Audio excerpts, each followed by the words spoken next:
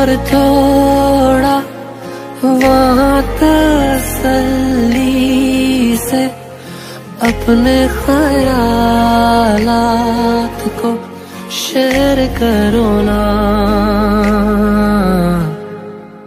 एक बार बेबे सेल्फिश होके अपने लिए जियो ना।